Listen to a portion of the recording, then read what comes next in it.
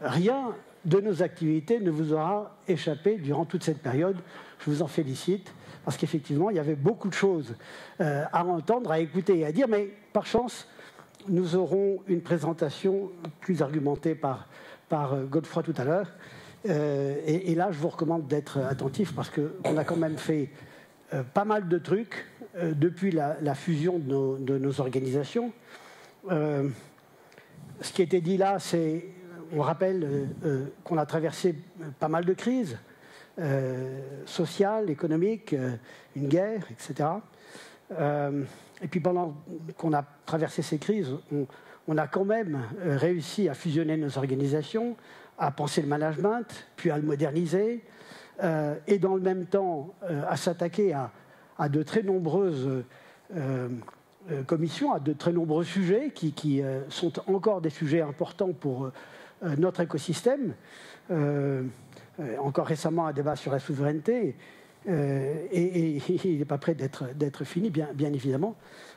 donc on a fait tout ce travail-là, un peu en, je dirais, quelquefois en mode d'urgence, quand il s'est agi d'accompagner le gouvernement sur la crise énergétique, ben, on n'avait pas vraiment préparé ce besoin-là et, et, la réactivité de, de, nos entreprises, de nos métiers et, et de leurs représentants dans Numéum nous a permis de faire ça.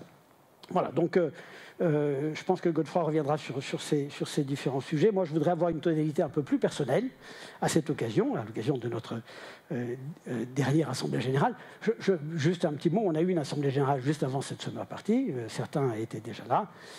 on a élu de, nouveaux administrateurs qu'on peut féliciter, bien, évidemment, et, donc tout ça, ça s'est très bien passé comme d'habitude, et, le vote a marché. Je, je crois que ce n'était pas la moindre de nos prouesses. Euh, ma touche personnelle, c'est dans cette euh, euh, cet épisode très dynamique de, notre, de notre écosystème depuis 2-3 ans, j'ai trouvé que finalement, on arrivait plutôt assez bien à travailler les uns avec les autres, même si ce n'était pas forcément gagné, puisqu'au départ, Souvenez-vous, euh, on avait plutôt tendance à, chacun agir pour notre chapelle, qu'il s'agisse des ESN, des éditeurs, des CCT ou d'autres. Euh, on est quand même arrivé à, travailler tous ensemble de manière efficace et, à, lisser ces différences. Euh, et moi, ce qui m'a semblé très, très important, et, moi, en tant que chef d'entreprise, très rassurant, c'est que chacun de ceux qu'on a retrouvés dans nos commissions ou dans nos réunions de travail, euh, à travailler pour le collectif et pas seulement pour son entreprise ou pour son intérêt personnel. Et, ce travail pour le collectif, euh, moi, a été d'un grand secours. Il a été d'un grand secours, il l'était déjà dans, dans, Tekin et encore plus fort dans, dans Numéum, surtout euh, après avoir eu à, à vaincre un peu ces différences entre nos différentes, euh, cultures. Voilà. Euh, je, suis assez fier, moi, de, ça, et, je, trouve que l'affluence que nous avons ici euh, ce soir, il y a beaucoup de, représentants de notre écosystème, cette affluence vient souligner justement que cette fierté est justifiée. Hein. Je, suis, heureux d'avoir participé à ça, d'avoir été l'un des acteurs de ce, de ce. Et, je, bon, c'est pas le moment de la conclusion de cette réunion, mais, je fais le vœu que Numéum sache aller encore plus loin dans cette, euh, dynamique, qu'on fasse plus de choses les uns avec les autres pour euh, euh, parfaitement résoudre les enjeux de notre société. Enfin, les résoudre parfaitement, bon, c'est peut-être un peu ambitieux ou arrogant, je ne sais pas. Mais en tous les cas, au moins s'y attaquer avec beaucoup de, dynamique. Voilà. Godefroy, je te laisse continuer parce que je pourrais dire des choses encore qui sont parfaitement inutiles, donc je te laisse. Non mais toi, toi, tu gères très bien le temps. Moi, j'ai écrit pour être sûr de ne pas déborder parce que, parce que voilà. Moi, je, voulais dire une chose. Toi, en t'écoutant, je me disais comme il y a un truc qu'il faut que je dise. Euh, oui, cette photo, bah, c'est une photo qui résume, euh, que, j'aime beaucoup, hein, c'est pas nous qui l'avons choisi. Euh, j'aime beaucoup parce qu'elle résume quelque chose qui a été véritablement euh, une collaboration intelligente et puis une amitié. On a véritablement réussi très vite à, réaliser qu'on pouvait travailler ensemble pour, je dirais, pour le collectif. Et c'est voilà, donc je suis très heureux d'avoir rencontré Pierre-Marie, d'avoir travaillé avec lui ces, ces deux trois années. Et puis on va continuer parce qu'on a plein d'autres choses à faire. Voilà, je disais ça pour qu'il y ait des témoins, que, tu saches que.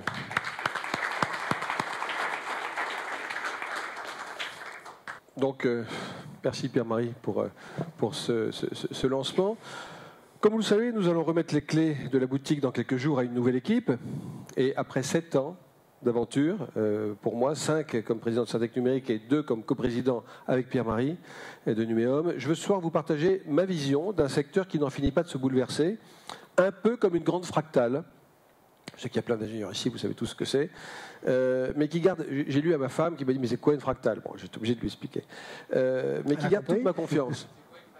Ah non, bah non, euh, ah, voilà. Bon, j'étais regardé la définition juste avant. Euh, voilà, donc c'est un secteur qui, euh, qui, qui, n'arrête pas de bouger. Quand, on regarde 5, 6, 7 ans en arrière, c'est, complètement dingue. 2000, c'était, rien par rapport à ce qu'on a vécu ces 7, 8 dernières années.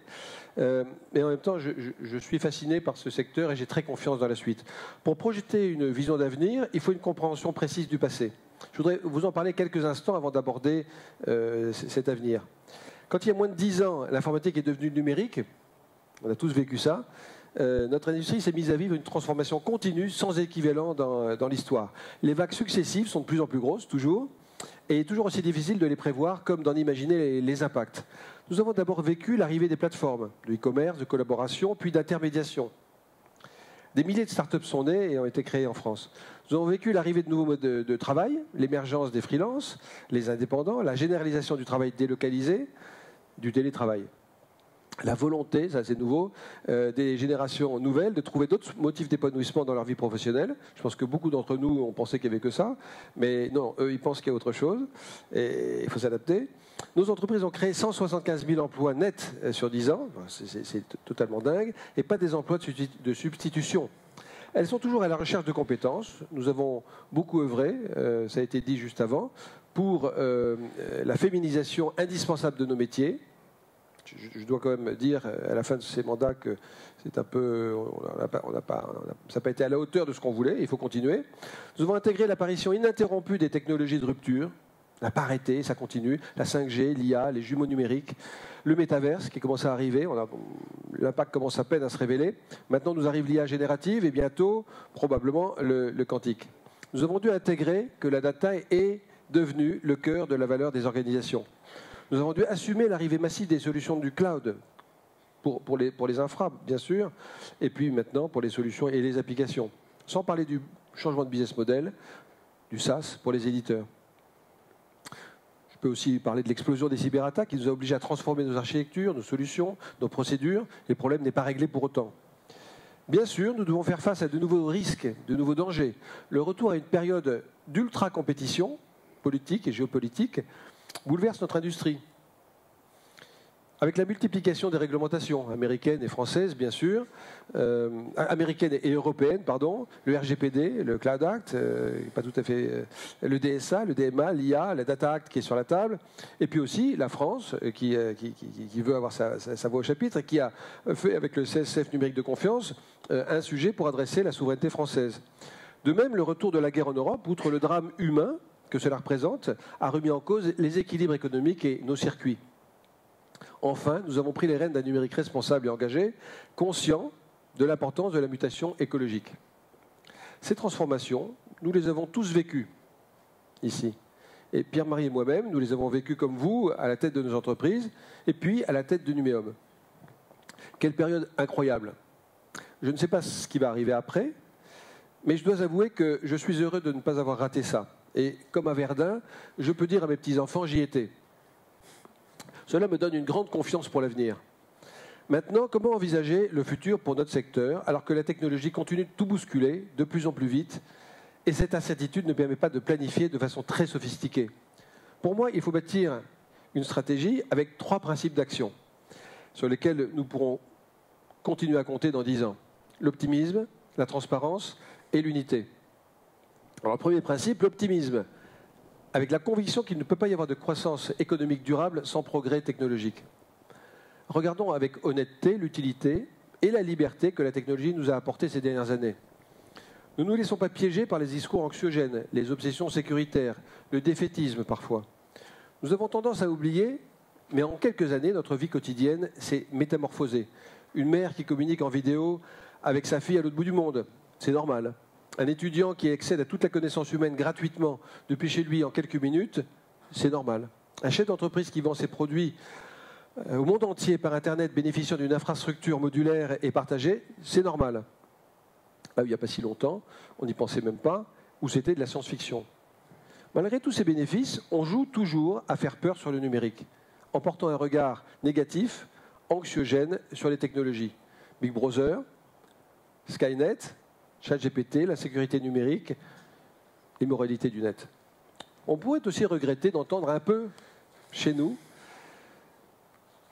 un peu de défaitisme, une forme de pessimisme. L'absence du marché unique européen, pas de grands champions, l'excès de réglementation, l'affût des technologies et des talents. Au final, c'est à nous qu'appartient de balayer les idées reçues et les craintes. Nous n'avons pas besoin de souverainisme, mais d'autonomie stratégique. Nous n'avons pas besoin de dogmatisme, mais de réalisme. Nous n'avons pas besoin d'isolationnisme, mais de chasser en meute avec nos partenaires européens. Nous n'avons pas besoin de confrontation, mais de coopération, notamment avec les Américains. Et nous avons besoin, en revanche, de fédérer tous les acteurs et l'écosystème, de nous armer avec les technologies de rupture, l'IA bien sûr, l'IA générative, l'informatique quantique, de trouver les compétences qui manquent partout, de former l'ensemble de la société au numérique, et puis d'une meilleure méthodologie de l'État. Après ce premier principe d'optimisme qui pousse à l'action et favorise le progrès, le deuxième principe, c'est créer la confiance par la transparence. Ma conviction pour que l'innovation continue à se développer positivement dans les années qui viennent est que la confiance doit être l'axe central de nos efforts. La diffusion de l'information est tellement rapide, comme la facilité pour la manipuler, que nous allons exiger un niveau beaucoup plus élevé de transparence et d'honnêteté. Ainsi, la confiance et les preuves de confiance vont devenir plus que jamais une différenciation, mais aussi probablement une partie des usages, sera une exigence réglementaire. Une de plus. Il va falloir par exemple démontrer l'origine et la pureté de la donnée, comme pour une denrée alimentaire, son lieu de production et de transformation. Démontrer qu'elle n'a pas été altérée dans son transport ou dans son stockage. Démontrer que l'opérateur qui me l'a fournie respecte mes choix et est éthique, sain, un peu comme les contrôles alimentaires de la chaîne du froid. Démontrer qu'il est vraiment éco-responsable, non seulement sur tout le flux de la chaîne de valeur, mais également dans l'archivage et la destruction des données obsolètes. Il existe un Nutri-Score pour les aliments, nous aurons sûrement à construire un Numériscore pour nos activités. Cette exigence de transparence va introduire plus de normes, plus d'audits et sûrement plus de sanctions. N'en ayons pas peur. Au lieu de nous effrayer, elle nous permettra de prendre le temps de bien appréhender ces nouveautés sans générer de peurs inconsidérées et montrer que nos professions sont devenues matures. Après les principes d'optimisme puis de transparence, le troisième principe, c'est l'unité c'est-à-dire être unis pour s'imposer dans la compétition internationale. Nous avons besoin pour avancer de solidarité, d'unité, et donc de regrouper nos forces, nos organisations, pour agir et peser. Les bouleversements de ces dernières années auraient pu être une menace d'éclatement, d'éparpillement. C'est tout l'inverse qui s'est produit. Sans doute avons-nous été confortés par le Covid. Souvenez-vous de la violence du choc et la rapidité de nos organisations. Peut-être que cela nous a aidé à prendre conscience que nous avions plus à gagner à nous rapprocher qu'à nous diviser, que les sujets communs étaient bien plus importants que les sujets spécifiques, comme le disait à l'instant Pierre-Marie. Ainsi, sur ces trois dernières années, nous nous sommes regroupés avec le LESIS, l'association dans le numérique de santé, puis en point d'orgue, la fusion entre Syntec Numérique et Tekin, et enfin au 1er janvier, la, la fusion avec le collectif, avec Sinov Numérique. Le SINOV numérique procède de cette même volonté d'échange entre le, collectif Convergence numérique procède de cette même volonté d'échange entre professionnels du numérique, d'où qu'ils viennent. Convergence numérique, on avait neuf associations. Et aussi avec nos clients, SIGREF, nos amis du SIGREF qui sont ici. Numéum est désormais un syndicat central, solide, puissant, grâce à vous, les 2500 adhérents, fort de ce que vous, ce que vous êtes en chiffre d'affaires, en effectif, en force d'innovation, en représentation à l'international. Numéum lance au printemps prochain un forum national du numérique qui sera un lieu de travail sur les enjeux numériques au-delà de notre secteur avec toutes les parties prenantes. Le numérique est un commun à partager. J'ai confiance. Les nuages de la surréglementation, les bouleversements introduits par l'intelligence artificielle générative, les compétences qui s'évaporent, l'absurdité de la PPL Conseil, tout cela, notre, conseil, notre secteur va le digérer.